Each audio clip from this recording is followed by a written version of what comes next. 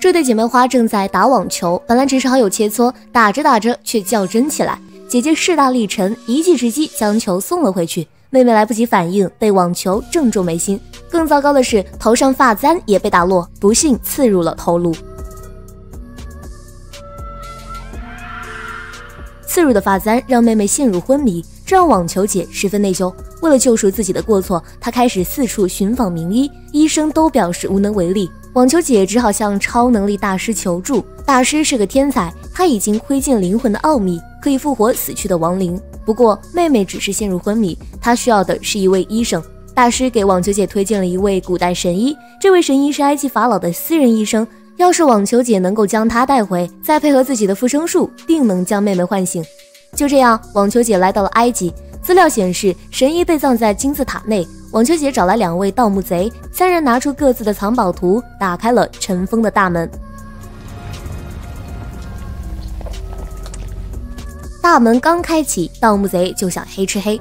不过密室内充满了石油，盗墓贼不敢贸然开枪。网球姐将沙子放上秤盘，开启了下一道机关。顺着大门进入，里面就是法老的墓穴，棺木两边堆满了黄金和首饰。盗墓贼戴上法老王冠，结果被活活勒死。另一个盗墓贼贪图金币，也跟着领了盒饭。网球姐正想带走神医，不料当地居民却叫来警队，将他扣了起来。警长和网球姐有些私怨，想公报私仇，处死他。网球姐请求警长给她来根送别烟，然后趁机将火机扔向了石油，熊熊大火阻断了警察。网球姐一路奔逃，最后冲进神医棺木，落进了地下通道。通道内有一片山泉与外界相通，棺木被卷进漩涡，最后从尼罗河上冒了出来。网球姐将棺木运回巴黎，本以为妹妹这下有救了，不料却看到大师入狱的新闻。原来，在他去金字塔的这段时间，大师寂寞难耐，拿一个恐龙蛋化石练了下手，远古翼龙被成功唤醒，不过却有些淘气，一复活就跑去街上，将警察局长的汽车送进了河里。警方听说大师是翼龙专家，特地登门拜访，没想到翼龙就藏在大师家里，在屋内一阵破坏，接着便破窗而去。大师因为和翼龙搭上关系，被送进了局子。网球姐听说大师入狱，假扮成看守模样进来救人。然而，当她进入牢房，却发现大师已经被带走，明早就要执行死刑。网球姐急忙赶到总统家，求他看在科学贡献的份上赦免大师。总统本来答应他再考虑考虑，不料翼龙却在此时冒出，径直冲向总统。网球姐跑去救人，却被保安误会，将他当作恐怖分子赶出了总统府。网球姐一脸郁闷地回到家中，妹妹呆坐在床上，神医躺在柜子里，只差大师的复活术就能唤醒妹妹。就在绝望之时，一封书信却点醒了她。既然祈求无效，那干脆来一场劫狱。劫狱的搭档自然就是翼龙。网球姐用围巾套住翼龙，接着骑上翼龙向背，翼龙拼命挣扎，想要将它甩落。一阵颠簸之后，翼龙总算被成功征服。网球姐骑着翼龙迅速赶往刑场，刑场这边正要行刑，没想到翼龙从天而降，救走了大师。网球姐带着大师打算回家救人，不料警长却尾随而至，扣动了手上的扳机，子弹从两人头间穿过，准确命中了身后的翼龙。大师的性命和翼龙连为一体，同样受了重伤。网球姐搀扶着大师回到家中，此时的大师已是奄奄一息，凭着最后一口气，大师催动阵法，释放了最后的灵魂之力。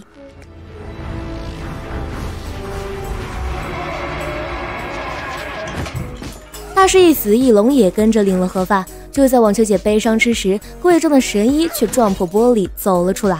这只千年僵尸不仅动作灵敏，还能开口讲话。网球姐请求神医给妹妹治病，神医却说网球姐搞错了，他根本不是什么神医，而是一位核物理学家。真正的神医是和法老葬在一起的。听闻这个噩耗，网球姐很是伤心，努力了半天，自己竟然搞错了。正在伤心的时候，木乃伊却来另一个信息。大师刚才释放的灵魂之力十分强大，足以复活方圆两公里的生物。恰巧附近就是博物馆，最近正在举办木乃伊展览，他们很可能已经复活。网球姐和假神医来到博物馆，那里的木乃伊果然全都活了过来。木乃伊围到一座棺木旁，里面躺着的就是法老王。网球姐请求法老救救妹妹，法老看她哭得可怜，叫来神医给妹妹治病。只见神医将头簪直接拔出，接着将法老的内脏做成药粉，涂抹到妹妹额头，最后再打上绷带。片刻之后，妹妹竟然真的醒了过来。网球姐抱着妹妹叙旧，法老则带着卫队出来遛街，路上遇见一位眼镜哥，直接将他吓晕了过去。第二天，法老王降临的消息传遍了巴黎，但是没人知道事情的真相。网球姐唤醒妹妹后，接着踏上了新的旅途，而她乘坐的游轮就是大名鼎鼎的铁尼达号。